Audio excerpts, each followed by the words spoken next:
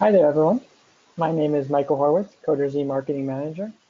I'm very happy to welcome you to our webinar, Closing the Gender Gap in STEM Education. Our speaker today will be Kim Kalosian.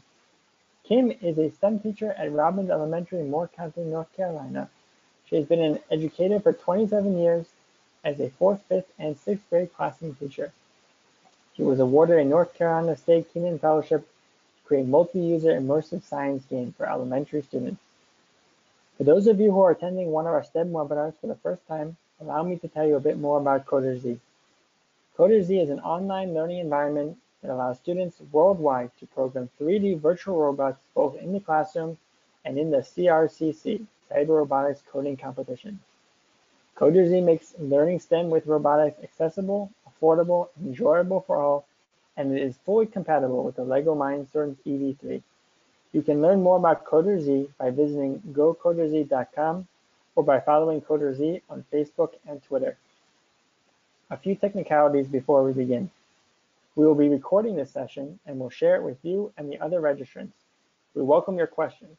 To submit a question, simply type it in the question box in the lower corner of the GoToWebinar control panel or tweet it using the hashtag seminars. Kim will answer your questions at the end of the session. Okay, let's get this webinar started.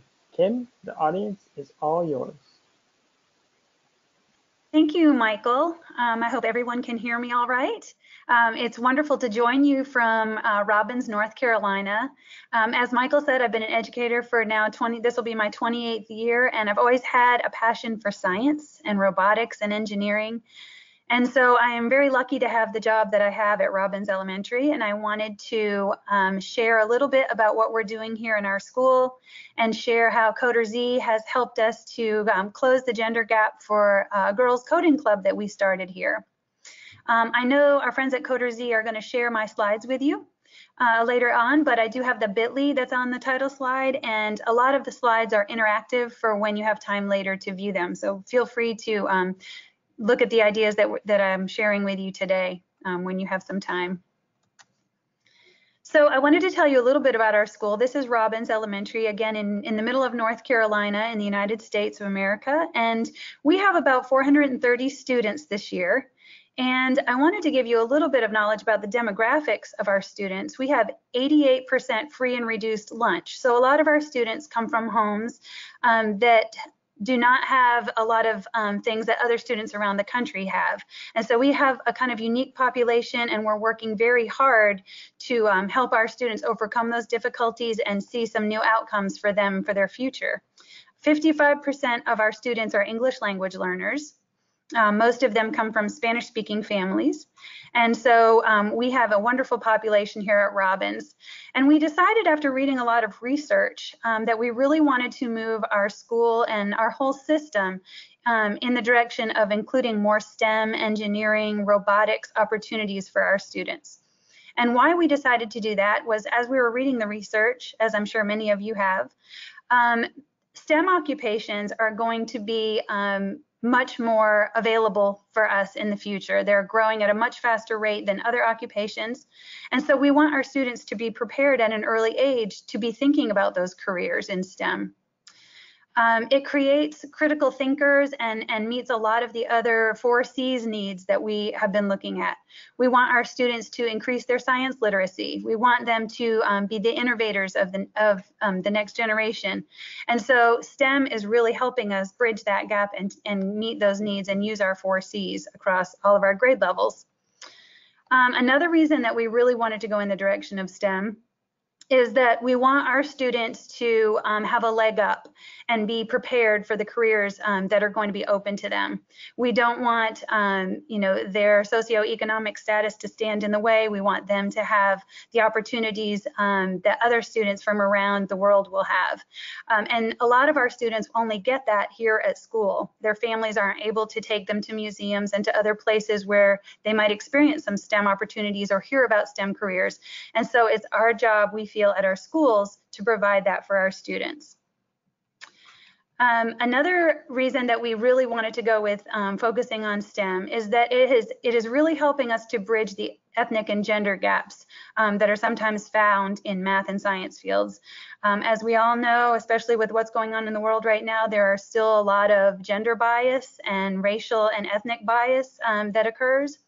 And so our STEM program is really helping us meet the needs of our students um, to overcome those biases and to learn new ways to to work with each other in the world. Um, just a side note, um, because we have so many Spanish speaking students, we had a little girl that had just moved from Mexico come into um, our school. And that very first day that she had joined our school, she came into the STEM lab speaking no English, but we happened to be doing some Lego robotics. And so um, she jumped right in with the group and she was putting together Lego robots and she was coding and you would never know that she did not know a word of English. So these programs are really helping us to bridge that gap and to meet all of our students' needs. I wanted to take you on just a short little tour of our computer lab, um, what used to be a computer lab and is now a STEM lab. I'm sure many of you have seen these if you have older schools. On the countertops, um, there were um, lots of desktop, dusty old computers that were really not used for much of anything except test taking. Um, and so we started to tear those countertops out and we started to repurpose our lab. Um, at first, we brought in folding tables. This was about um, a year and a half ago. And we repurposed one of our countertops to be um, along the wall as a workstation. And we um, then started to add other things to our lab. We started to um, write grants to get um, greens, a green screen. We put in some carpeting. Um, we have uh, purchased some, you see the little tent in the background that looks like a rocket. We are the Robbins Rockets. And so it is a rocket ship that we use for recording um, recording studios for our students. A lot of our students feel uncomfortable recording um, maybe videos or using Flipgrid in front of other students, so they use the Rockets as recording studios. Um, and you'll see on the right hand side, we do have a green screen, and we had started using just whatever tables we could find around the school um, rather than the folding tables. And then this year, um, we used a lot of grant money to purchase brand new, the new white tables, which is in the picture at the bottom, and stools that are much more easily um, stackable. And so this is what our lab looks like today. In addition, we've used a lot of grant money and Title I funding to um, order a lot of supplies for our lab, a lot of robotics, um, a lot of, uh, we've, we ordered six or seven Dash robots through Wonder Workshop. We ordered a lot of WeDo kits, the WeDo 2.0s um, that we use for our building. Uh, we ordered 12 Sphero robots that we use. Um, we have Makey Makey and Little Bit circuit kits that we use um, in a lot of our coding and programming. And we also spent some money just on hands-on STEM that did not involve any technology. So we have kits of just plain Legos, we have Lincoln Logs, we have Play-Doh, all kinds of things for the students to get involved with engineering and building and STEM related concepts that might not necessarily have to do with technology. We uh, wrote a large grant um, because at our school with our students coming from Spanish speaking backgrounds and just learning the English language, literacy is a big component of everything we do at our school. And so we wanted to integrate um, literacy into our program. And so we wrote a grant to get over seven, uh, 50 STEM related picture books that go along with a lot of our units. And I'll tell you a little bit more about how we incorporate those into our program in a minute. Um, on the right-hand side, we also um, wrote another big grant to get things like hex bugs, which are tiny little robots um, that are that just have a little on and off switch, and so the kids do engineering with hex bugs. Um, we bought KEVA planks, which are wonderful, just um, regular shaped rectangles shaped pieces of wood that they do a lot of engineering with. Copper tape, LED lights, pipe cleaners, magnets, all kinds of things um, that we needed to get our STEM program off the ground. Our newest additions that we're really excited about are um, we bought six Parrot airborne Mambo drones. And so we are doing a drone program with our students. We started it um, a year and a half ago. One of my colleagues who may be in on this webinar, Carrie, uh, she started a drone program at her school and um, we decided to bring it over to the elementary school as well. And so students as young as third grade last year were learning how to program drones and carry out missions. These are indoor drones, so we use them right here in the STEM lab. We also have, our, we were lucky enough to get a cart of virtual reality headsets and Samsung phones. And so we do a lot of virtual reality with our students as well as augmented reality. We bought some sets of Osmo um, and Snap circuits um, just to continue doing lessons at, at all different age levels. Um, this is uh, the website that I created for our STEM lab, and feel free to explore it on your own time. The link uh, is live um, when you're in the slides. You can check out all the engineering adventures that we do every week. There's lots of pictures, picture galleries, um, the calendar of what's coming up in our STEM lab, so feel free to check out our website. Right now, I'd like to show you just a short video of um, that will get kind of give you a taste of what we do in the STEM lab. This was used as a promotional video um, last year.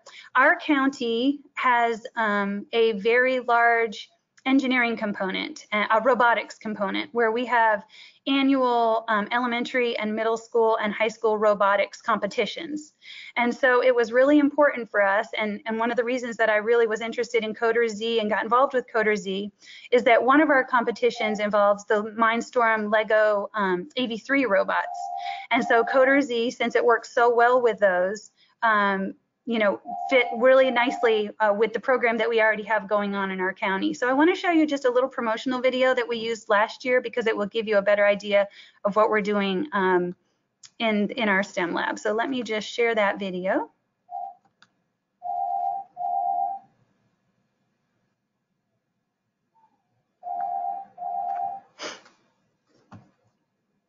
Put Humpty Dumpty up on top if I had a bunch of them here as a wall? Yeah! Okay, so what we're gonna do is you guys are gonna engineer a safe wall for Humpty Dumpty to sit on top of. So in the STEM lab, we focus especially on the engineering process. And so the kids are constantly um, asking a question. Is there a problem in the world? Is there a problem in a literature picture book that we've just read?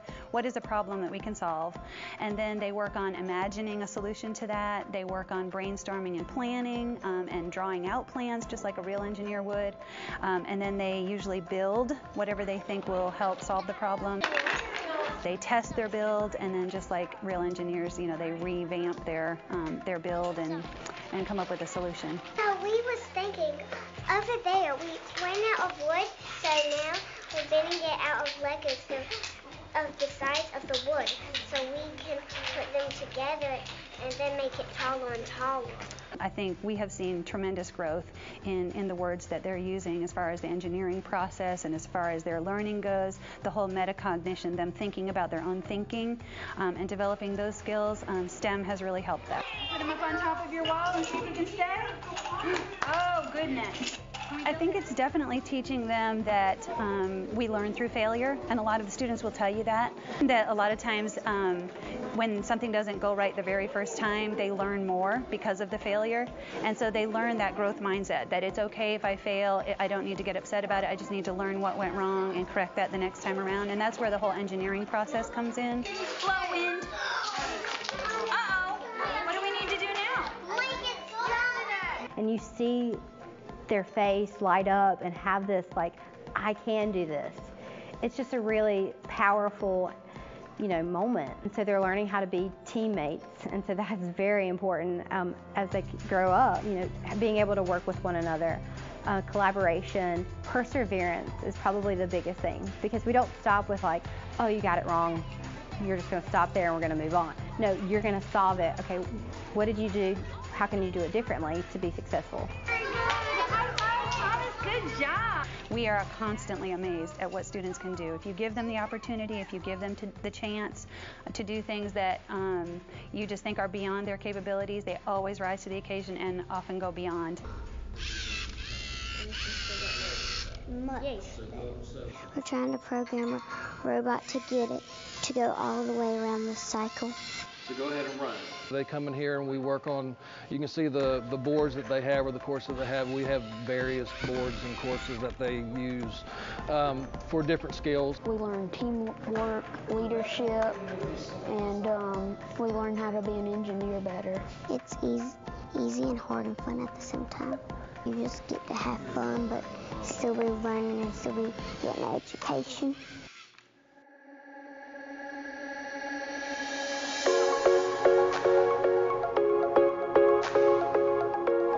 I didn't know what to expect when I walked in. And when everything was set up, we're like, all right, this is to be great. And then everyone comes in, we're like, wow. Like, it's just, oh my gosh. And you, it's just this energy you can't really explain.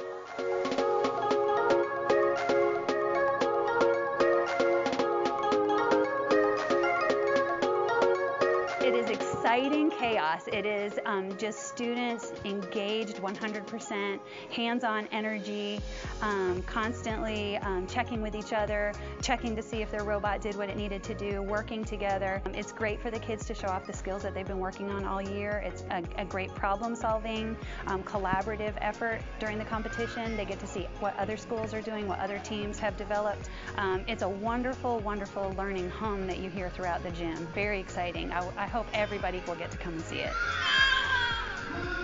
Well, we are just excited about uh, inviting educators from all over the state to come to Moore County on May the 4th. At Pinecrest High School, we're going to be doing a student showcase uh, with robotics and programming where people that come can come and see our kids in action actually programming robots, which is really cool to see. And then also on that day, we're going to do professional development on how to do the engineering process in our K-5 classrooms. You'll be able to build, create, destroy, and uh, hopefully at the end of the day, you'll have something to take with you to get started in your own buildings.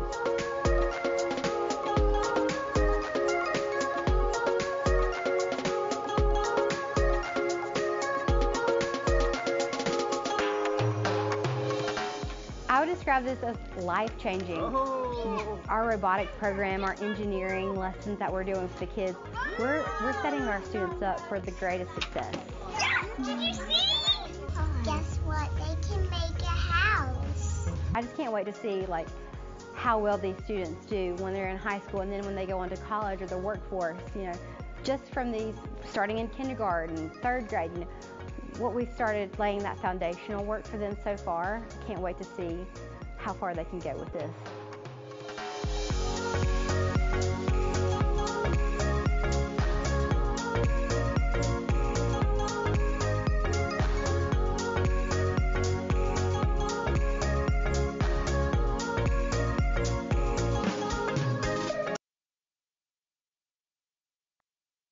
Okay, so as you could tell, um, the robotics is a definitely a big part of um, what we do in our county.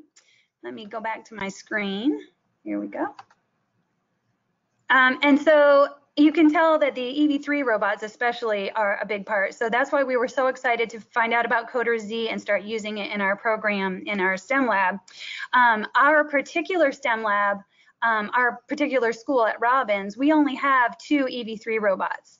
We do um, send some teams to the competition, but because we only have two ro robots, it kind of limits the amount of students that can be involved with those teams.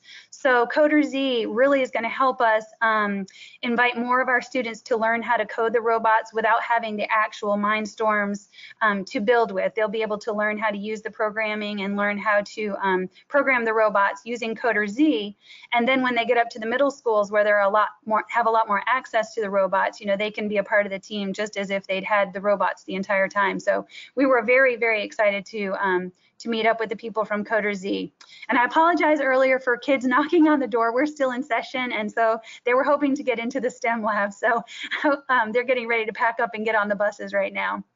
But as we move along, I just wanted to tell you a little bit more about um, uh, our media and STEM collaboration. Our librarian and I work together um, to include picture books a lot of times with our STEM lessons and teaching the kids about the engineering and design process. So I've included just a couple of those to show you um, some of the things that we did. We, we read a lot of Andrea Beaty's books, Rosie Revere Engineer. In this case, the students um, in K2 were engineering, um, you know, little objects that were on their task cards. Um, who sank the boat? This one I've included the live um, slides. So when you have this um, presentation and you have a chance to look through it, the slides that go with this lesson are embedded as well. And so the students, after reading Who Sank the Boat, had to, of course, come up with a plan for designing a boat um, using those materials. And then we had to drag in a pool and fill it with water and test out the boats and see how many animals they could fit on their boat. Um, we also try to tie our STEM lessons as well as with literacy component using a picture book most of the time, but also to the curriculum standards that are being taught back in the regular classroom so that our STEM lab is really supporting what is done in the regular classroom. So when our kindergartners were studying their earth science unit um, in the area of weather, um, they had to engineer an umbrella and we talked a lot about weather. And then um, to take it to the next level, we wanted to include um, our cart of iPads and let them get used to using iPads. And so we use the portfolio um, app Seesaw. And so the students practice taking pictures of their engineering and adding um, Seesaw elements. So that was a lot of fun for them. Um, our first grade students were studying pushes and pulls and magnets. And so we designed an engineering lesson where they would have to, um, you know, use their magnets to move cars and by, by pushing and pulling. And it went along with another book that our librarian had read called Magnet Max. I only have about 40, 40 to 45 minutes for my STEM lessons, and I see my K2 kids one week and then my 3-5 kids another week. So I have to really create short um, bursts of lessons. And because we wanted to include the literacy piece, my librarian sees them the week before I do. So she will read the book to them. And then when they come into the STEM lab, I just review the book and we go from there with the engineering lesson. So we have a nice collaboration there that has been working really well for us. Um, here's one that we did when the kids were studying the sun in second grade. We purchased some solar beads. They had to make some animals out of solar beads and pipe cleaners and then also engineer with Play-Doh and popsicle sticks a shelter for those animals to protect them from the sun. And then um, after they built them, we of course had to take them outside and see if the solar beads turned color or if their animals were well protected from the sun so that they could learn a little bit more about the sun's energy. Um, we try to also make the lessons relevant to what's going on. For example, this week we've been doing some hurricane related engineering. Um, last year around Halloween, we wanted our students to learn how to drive the Dash robots. So we incorporated that into a book about loving spiders and we made a big spider web um, out of electrical tape on the STEM floor. And all of the students learned how to drive Dash the robot to collect bugs. And of course, they got to trade in their bugs for a spider ring because who doesn't love a spider ring? Um, the older kids around that time were going to do an engineering lesson after reading Iggy Peck Architect, another Andrea Beaty book, um, and they were designing pumpkin towers for an architecture unit. So this is a picture of our third, fourth, and fifth graders designing their towers to see how high they could build it um, to hold the little pumpkin. Um, again, robotics starts out early at our school, and so we read books about robots. Um, our younger students made robots just out of um, recycled materials, and you can see pictures of them here. We wanted to take it to the next level and include a little bit of iPad work and app smashing. And so we used the app ChatterPix, which if you're not familiar with it, it takes a picture and record, the students can record their voice and it looks as if the picture has come to life and is talking. So again, this um, particular slide in the presentation is live. So when you look at it later, when you click on the little robots, you'll be able to hear them speaking um, with the kids' voices. Um, we study a lot about cars and motion. And so in second grade, they built um, cars out of just, again, hands-on materials. And then our fifth graders got out the WeDo 2.0, the Lego WeDo 2.0 um, kits, and they built robotic cars and learned to program them and then measured distance. And they also engineered different wheels. How, how would a change in the size of the wheel on the car change the distance that the car would go and how fast it would go? So um, got some robotics in there. Another element of our STEM program that we are really proud of is the walking classroom. And this is um, a program that was started by a North Carolina teacher and she has created little um, they, they're called Walkits but they're pretty much like ipods. And they have 61 stem lessons on them on there that the kids go outside and they walk and they listen to. And it's for it's especially aimed at our students who really are kind of antsy in their seats. They need another learning style. And getting out and walking while they're listening to some science and stem concepts is very helpful to them. So we have two walking clubs one in the fourth grade and one in the fifth grade and we go out and walk once a week with each club. Um, the podcasts are only about 15 or 20 minutes long, so we take a 15 or 20 minute walk. We come back in and we discuss what we've learned, and then um, the students get to vote on which podcast they'd like to listen to next. Sometimes it relates to what we're doing in the class, they're doing in the regular classroom in science, and sometimes it's just a topic that interests them. So that has been a nice addition to get us outside. Um, speaking of getting us outside, because we live in such a very remote rural area, a lot of our students don't realize that there is a larger world beyond our school and our classrooms. So we've really been pushing to go global more with our STEM program. We do a lot with Global Read Aloud, where we um, Skype with authors. We do mystery locations where the kids ask yes and no questions of students from around um, the country and around the world to try to figure out where where each other is.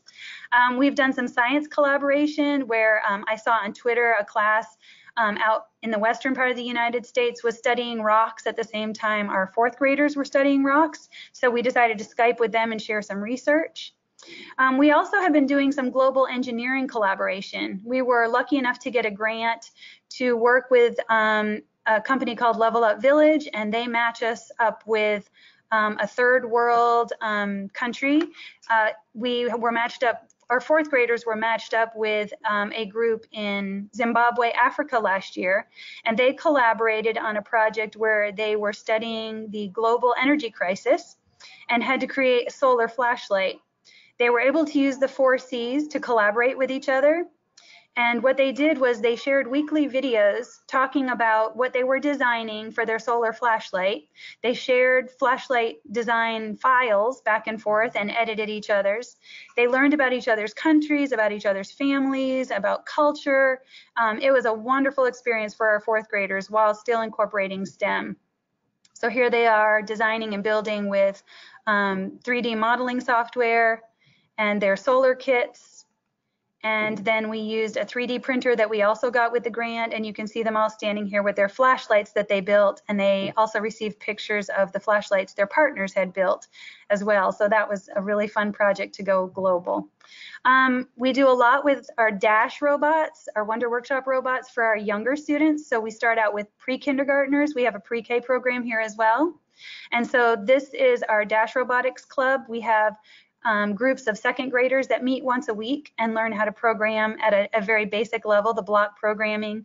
Um, and then they actually get to go to a competition as well in May, the same competition that was in the video that you saw. Um, so they get very excited about that and learn programming at an early uh, age. So why did we really want to emphasize put some emphasis on our girls?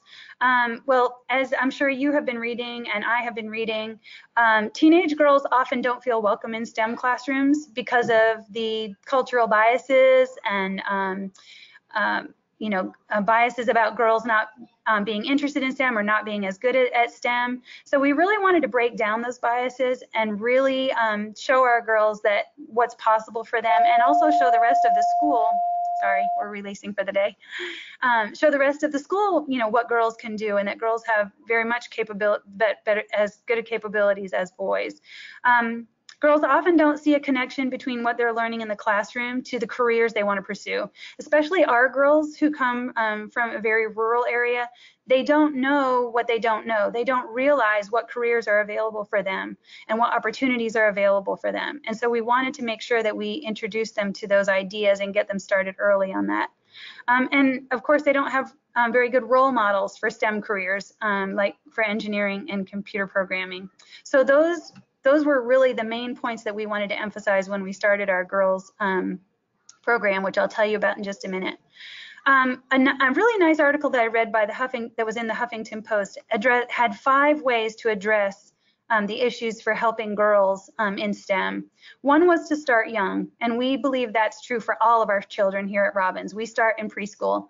Um, so starting out all of the students, but especially girls, thinking about STEM careers and thinking about engineering and robotics and programming at a young age.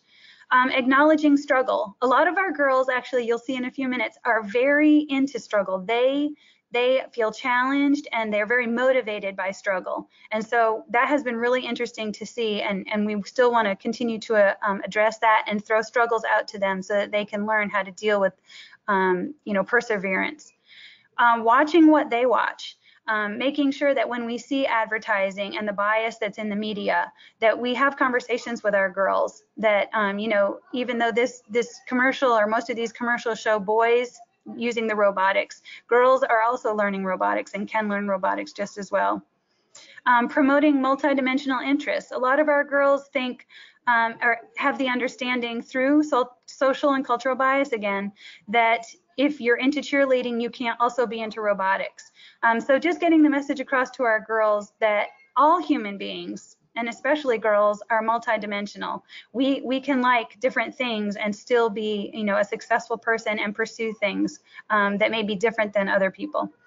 And then, of course, providing good role models for our students, which is something that we did address with our um, Giga Girls program. So let me tell you about our Giga Girls After School Coding Club. The girls um, submitted applications. We opened it up to our third, fourth, and fifth grade girls. Over 50 applications were received, and in a school at the size of ours, a small school, we were very impressed by that. We wanted to start off small last year, and so we selected 12 girls from the applications, um, and I've linked the application here if you'd like to take a look at it later. We met every Tuesday for an hour after school. And um, to address some of the things that I just spoke about, we decided that um, we would match our girls up with mentor um, com computer science female majors at local universities. So all of our 12 girls were matched up with a mentor from NC State, UNC Chapel Hill, and Stanford University.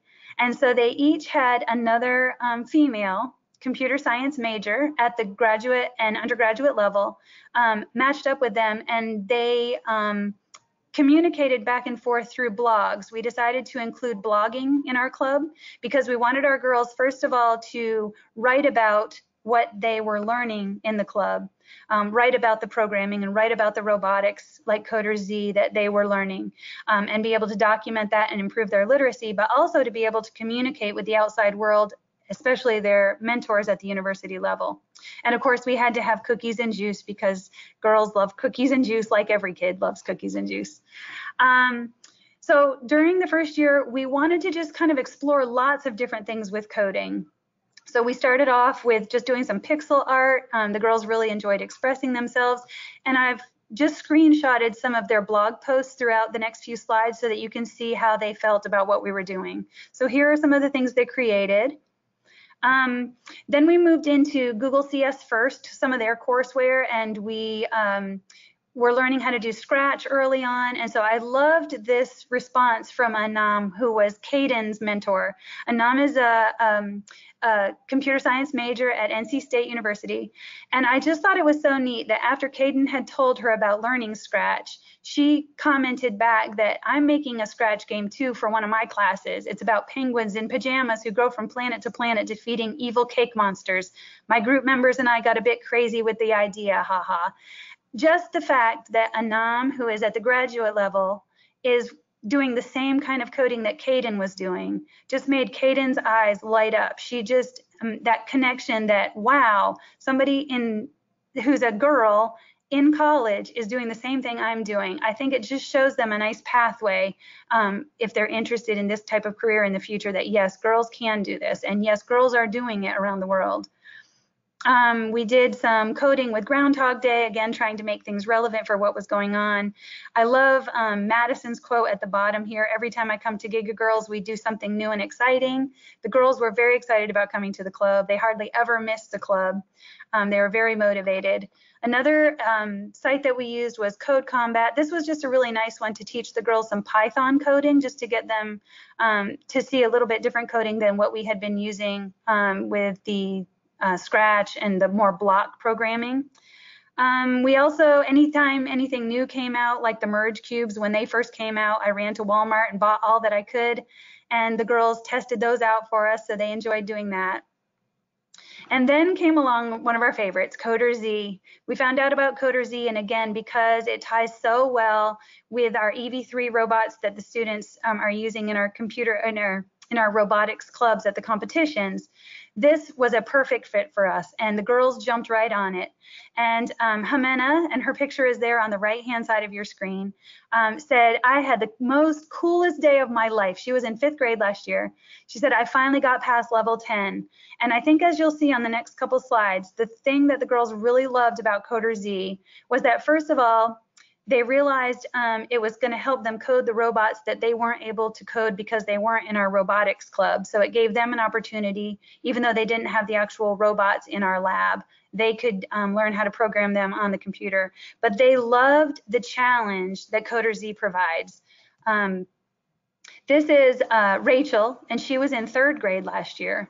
And I was a little nervous about having third, third grade students use CoderZ because I wasn't sure if it would be too challenging but we threw it out to them and they just picked up right right where they needed to. They they accepted the challenge. And as you can see rachel said i had fun coding the robot. It was a bit hard but i passed some levels. I loved coding the robot. They loved the challenge. They loved trying to get to the next level. Um, this is a quote from yori. She was also a third grader. Um, and of course she talks about how level 8 was super hard and i liked it. They liked the challenge. So i think a lot of times people fear throwing too much challenge on our children, but um, they really want that challenge, and especially this group of girls. Um, Stacy at the bottom, the reason I included this quote, um, at the end she says, the hardest part was when I had to do the turn and get it into the parking lot. Mission 14 said it had to do something with perpendicular. Well, when she went back to her classroom and told her regular classroom teacher how she had been learning to code a robot to get into a parking lot so that she was perpendicular, her teacher was overjoyed because they had been learning about perpendicular lines and all different kinds of lines in their regular math class. So it just, the connection was really nice. And um, to have her bring that um, new skill back to her regular classroom just really proves um, what a good job this, this club is doing to help our students prepare for lots of things, not only our robotics competition. Um, and here again is a conversation between Caden and Anam, where they're talking about um, working out the bugs. And Anam is just so nice to Caden, telling her the more you code, the more you'll learn to um, figure out what those bugs are and avoid them. So that mentorship really meant a lot to our girls and was very helpful as they moved through. Um, near the end of the year, we did get to Skype with our some of the mentors. You can see their picture there, all crowded around um, the image of our girls. That was a special day. They got to learn a little bit more about their engineering program at the state at the graduate level. Um, and this year, we are hoping to actually take the girls on a road trip on a bus up to NC State and visit um, the engineering department and, and hear from the girls face to face and take a tour and go into um, their computer science classes so the girls can actually see this is a possibility for me. This is somewhere that I can go in the future if I'm interested. And then on the right hand side, um, we had a party at the end and all of their mentors had sent them individual little gift bags from the computer science department full of all kinds of computer science fun geeky things and um, handwritten notes from each of their mentors. So that meant a lot to our girls.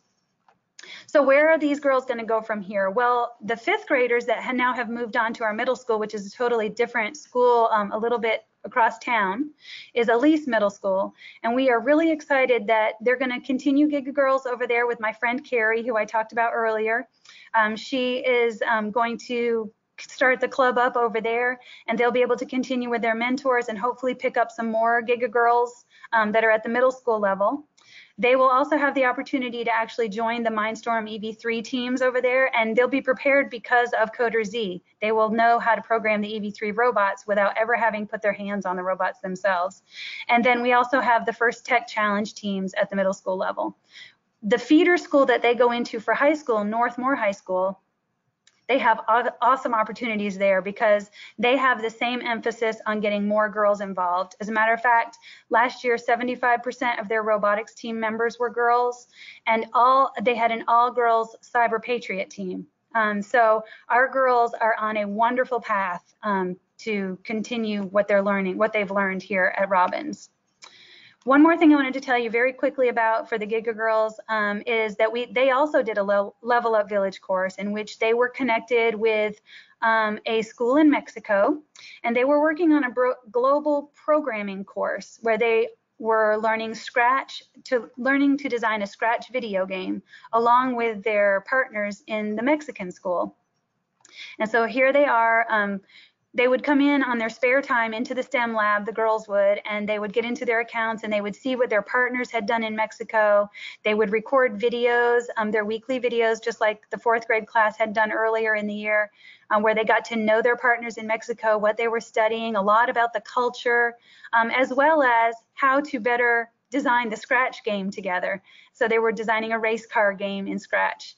Um, and then in the bottom pictures, you can see that we were able to Skype with our partners in Mexico and they got to meet them face to face and talk about the experience and talk about their schools and their culture and about engineering and robotics and programming. So that was a really fun experience for our girls as well. I wanted to include a slide right here at the end. Um, just it, when you have these slides in front of you, if you click on the thank you picture, it will take you out to the grants that we've received if you need to get some ideas on how you can get grants for your STEM labs or for other programs you're running. Um, I've included just some articles that I found really helpful as we were researching how best to meet the needs of our girls here at Robbins. Um, and I think that's about it. So I am very excited that I got to share with you what we're doing here and um, hope it was helpful to the programs that you're working on at your schools. Thank you, Kim. This was super fascinating. I really enjoyed it. Um, we're gonna open the you know floor up for questions. Now the audience can send us questions. I'll read them out loud and you can answer them. Okay. Uh, while waiting for the audience to send in their questions, I'm going to throw up a few polls for the audience to uh, answer. Um, I also wanted to take the opportunity to let people know that CoderZ is available for purchase. Um, so the first poll that I'm going to put up here for the audience to take a look at is, um, would you like one of our team members to be in touch with you regarding CoderZ So um, just take a second now to, to answer the poll and um, we'll move on to the next one.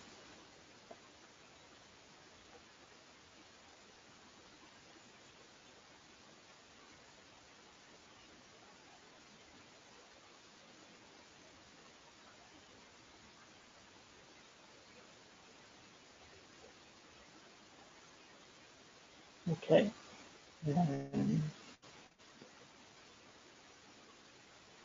And then the second question I have just quickly want to get in there before we get to the audience questions is we want to get a sense of who are our audience, what are their, what are your roles? So um, teacher, principal, superintendent, and coordinator.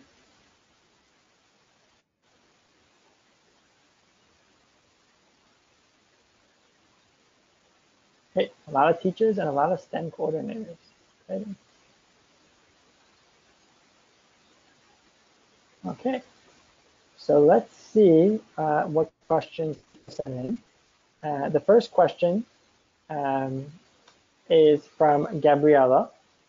And the question is, do you think all students should be encouraged to learn STEM? Absolutely, yes. I think all students should be encouraged to learn STEM. As a matter of fact, we think it is so important here. Like I said, we've started at our preschool level. And so, um, yeah, it's definitely important to start them at an early age, especially those students um, that may not have experiences or have opportunities to um, have experiences at home or in their small communities where they're um, where they have access to STEM materials um, and to learn about STEM careers and the opportunities that are available to them. Yes, all of our boys and girls starting at the pre-K level here um, are experiencing STEM this year. There are also two other elementary schools in our county who have um, put money into um, having a dedicated full-time STEM lab. Um, where the students come through. It's at all of our at our three schools that have the STEM lab. It's one of the kids. Excuse me, one second. I'm sorry. Sorry, part of the day in the life at school. Um, all three of our schools that have dedicated STEM labs, it's part, it's one of the specials that the kids go to. So it's in the rotation of like um, gym and art and music. Now STEM is one of the specials um, that they all get to come to. So absolutely, I think it's important for every child. That's fantastic. Um, I just want to quickly remind people, in case you forgot from the beginning of the webinar, to ask a question, use the GoToWebinar uh, chat or question panel, uh, and then we'll see that and we'll read that out loud. Um, so the next question we have is from John, and this is, how should we measure students' progress in STEM? Uh, competency, knowledge, desire to continue? I think that's such a good question, and I think it's something that um, I think is the hardest for me. I do a lot of formative assessment in that I'm constantly, you know, walking around and watching what the students are engineering. Um, and we've seen as time goes on that when we continue to teach the engineering process and programming process, um, that it becomes easier and easier for the students because they're able to carry out engineering jobs, um, you know, at a much higher level. And I think um, you can just see through that formative assessment um, what they're how much they're learning each time they do a new engineering project. Uh, we also like to document it, like I said, with um, a portfolio system. We happen to use Seesaw because it's free um, and it's an app on all of our Chromebooks and our iPads. And so we have our students document a lot of what they're doing in the STEM lab using Seesaw so that we can kind of look back at their portfolio and see how much they've grown. We also do a lot of surveying with our students. Um, so we will we'll survey the students like at every quarter and ask, um, you know, which projects seemed the most challenging, which projects did you enjoy the most, what do you think you've learned in the STEM lab. Um, so I think a lot of formative assessment um, and a lot of um, asking the students, what are you learning? What what do you still feel is most challenging? And blogging as you saw with the Giga Girls, blogging was a great formative assessment as well. Um, and you can do that through Seesaw. We happen to use KidBlog, um, but I was able to read through their blog posts and see, you know, what what was what they were struggling with and what they were feeling more and more comfortable with. But that's a really good question. Fantastic. Okay. Um, we have a question from Jen. Can you share any resources like case studies that show the benefits of starting STEM early Yes, as a matter of fact, I do have several um, case studies that that helped us when we were researching, including our preschool program into, into it. Um, we've also just written a very large grant that we're waiting to hear back from that would um, allow us to start a summer STEM camp just for our little students, for um, our rising kindergarten first grade students. Um, and so we, we had done a lot of research with that and I will be glad to, um, I can send those resources out if, if I get your contact information, I'd be glad to. Yeah, definitely. What we'll do afterwards is we'll, I see you have your email right there on the slide, but we'll also include that information um, in our follow-up. So Great. another question from Sandy. I am hosting summer camps but want to be able to travel to share what happens at our STEM camps. Um, I'm not sure I understand the question, but maybe maybe you understand it. No, but I'm excited you're having summer STEM camps. That's really, really exciting. Cool, cool. Okay, um, another question from Jen. Do you have a STEM coordinator on site? If so, is this person full-time? Uh, no, I would. I guess I would be considered the STEM coordinator. Um, I am full time. Um, we have we have a team of digital integration facilitators in our county. There's about 12 or 13 of us that are at the elementary, middle, and high school levels. And what our jobs are as um, digital integration facilitators is um, going into the schools and into teachers' classrooms and collaborating on lessons that integrate technology. Um, and so that I am part of that team, and so that has been really helpful. Um, we do have a county director that's in charge of that area. Um, and because our emphasis in our district is so much on STEM and robotics, there is a lot of support at the district level from our superintendent through uh, a lot of the directors and principals um, to continue um, to build our STEM program. But at the three elementary schools that I talked about, where STEM is a full-time position, um, we were classroom teachers, um, and we have just taken on the role of a, a full-time STEM lab teacher. Great. Um, we have a question here from Andrea. What's the simplest robotics program to start with K through second grade students and for third and fifth through fifth grade students? That is a really good question. Um, if you're talking about uh, hands-on, by far um, we have found the little Bee-Bots, and I think I have a picture of them on one of the first slides that I showed you. Um, they are little robots that um, are standalone. In other words, you just turn them on on the bottom, and then the kids program them by pushing the arrows on the top of the bee. And we have used these with our preschoolers, kindergarten, actually all the way up through, but they're really good with preschool through second grade um, to kind of teach the linear um, way of programming so that you know every time they push an arrow on the top the bee remembers their their code their program. And then when they push the go button it runs that complete program.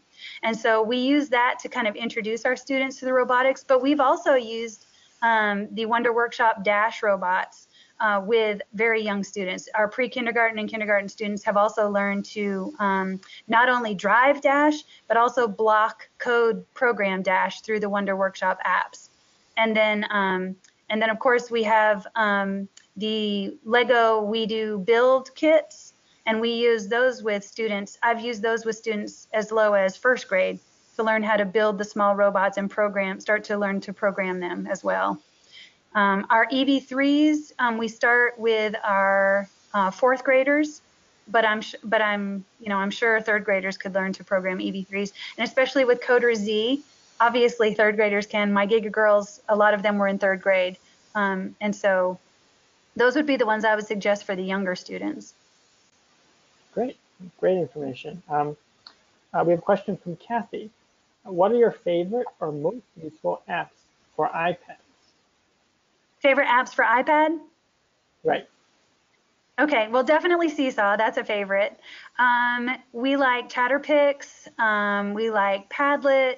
We like um, anything where the students are creating rather than just consuming. Um, I know there's a lot of game-like apps on the iPads, and to be quite honest with you, we don't have any of those on our iPads in the STEM lab. All of our apps are creation apps. And again, if you'll email me, I can send you a list of the ones that we use quite a bit, if that would be helpful. Great. Um, we'll definitely put you guys in touch. And then we have we're we have enough time, I think, for two more questions. Um, so we have a question from Janice. Do you teach three separate lessons to each grade, and one to third grade, another to fourth, etc., or do you group one lesson and teach it to those grades? That's a really good question. Um, I've done both. Um, sometimes when I'm looking at, we have a common planning document that we use with our staff, and so I get to see what they're planning for the coming weeks. And so sometimes when I see that, um, like my third, my fourth, and my fifth grade are all going to be teaching something different in science that um, I really could develop a good lesson for, then I will have three different things going on in the lab that week. Um, and other times, um, like when the hurricane came, I decided we were just going to use our Sphero robots and do um, a hurricane related activity that kind of met the needs of all third, fourth, and fifth graders. So this week, they're kind of all doing the same project where they're doing a hurricane debris removal where they have to engineer a structure to attach to the Sphero to collect debris that's on the floor and get it back to their team. Um, and so that kind of met the needs of all all three of the grade levels. And so um, it just depends. It depends on what they're studying in their regular classroom, and it also depends on um, kind of what's going on in the world to be relevant. So I've done both. Great. Um, so the final question, it's a long one. How do you feel when you know you are actually closing the gender gap in STEM education? What can each of us do in our own schools and districts to create a real change? Any tips? Wow, that is a powerful question. Um, I think what you decide to do in your own school is going to be unique to your population of students. Um, our after school girls club has made a significant difference um, in our school culture and in the growth of the girls. Um, having the mentors, um, kind of just meeting all those needs that were on that one slide, starting early, um, having role models that they actually connect with, real life role models, not just somebody that they've seen in a movie or seen on TV or will never meet, um, but having girls that are studying what they want to study in college um, has made a huge difference. Um, so I think just being purposeful, looking at the research and seeing what's suggested, and then picking a piece or two of that and starting something um, new that maybe isn't being done at your school yet. Um, because we didn't have any after school clubs, we didn't, you know, have anything for just our girls. And um, it has definitely been a popular thing. We're hoping to increase the amount of girls this year that will be in the club um, and just continue it. And, and as well, it's you know it's it's created a fire across the county as well. You know, our middle school is now going to be incorporating Giga Girls, and we have some other um, schools in the county who, when they heard about our project, decided to start a girls club as well. Um, some of them are robotics girls girls robotics clubs. Some of them are just engineering clubs. Um, so you know, just start with something you're passionate about and, and try it. Give it a try and see how it goes. Wow it's really amazing something started off that small can grow. And um, thanks for a wonderful presentation. Like I said before, I, I really enjoyed it, and I think our audience probably did as well. Thank you so much. I was really glad to share. Thank you for the opportunity. So um, to continue this great conversation, I recommend joining our Robotics and STEM for All Facebook group, facebook.com slash groups slash STEM for all, number four, all. Uh, we'll also send a follow-up email, as I mentioned, with a link to the recording and the slides and details how to follow up with Kim. As I mentioned before, CoderZ is available for purchase. You can contact us through you can contact us through our website at gocoderz.com for a quote or sign up for our free trial. Uh, thank you all very much for joining us today and for your great participation. Uh, if you have any questions, please be in touch or post on the STEM for All Facebook group. And uh, have a great day.